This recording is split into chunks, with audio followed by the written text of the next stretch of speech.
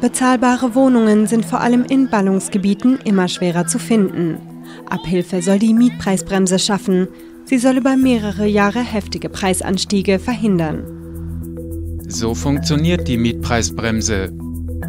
Wenn eine Wohnung wiedervermietet wird, darf die neue Miete die ortsübliche Vergleichsmiete höchstens um 10% übersteigen. Über die ortsübliche Vergleichsmiete gibt der örtliche Mietspiegel Auskunft, alternativ Datenbanken von Vermieter- oder Mieterverbänden.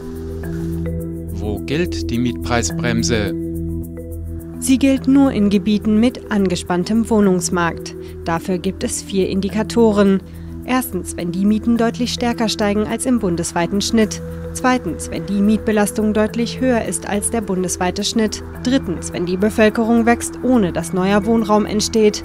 Oder viertens, wenn ein geringer Leerstand bei hoher Nachfrage besteht. Diese Wohnungen sind betroffen. Die Mietpreisbremse greift bei Neu- und Wiedervermietungen, aber nicht bei laufenden Mietverhältnissen. Auch bei Neubauten und nach einer umfassenden Sanierung gilt die Mietpreisbremse nicht. Das soll Investitionen in den Wohnungsmarkt fördern. Wie können Mieter ihre Rechte durchsetzen?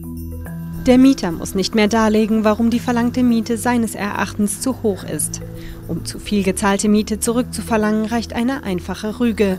Wer vor Gericht gewinnt, soll zu viel gezahlte Miete vom Zeitpunkt des Vertragsschlusses an für einen Zeitraum von zweieinhalb Jahren zurückbekommen können, nicht erst ab Zeitpunkt der Rüge. Vermieter müssen vor Vertragsabschluss unaufgefordert und schriftlich darüber informieren, ob sie eine Ausnahme von der Mietpreisbremse geltend machen. Zeigt die Mietpreisbremse Wirkung? Laut einer DIW-Studie sorgt die Mietpreisbremse für eine moderate Verlangsamung des Mietpreisanstiegs um 2 bis 4 Prozent.